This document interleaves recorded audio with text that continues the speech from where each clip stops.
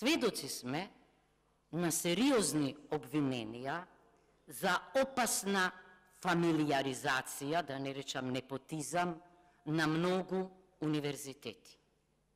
Ке се согласите дека фамилиарните односи не се добар амбиент за надпревар и дека на вистина треба да се проучи овој проблем. Имено во Законот за високо образование, во членот 120, 125, став 6, се забранува сродство во права линија до било кој степен и во странична до четврти степен.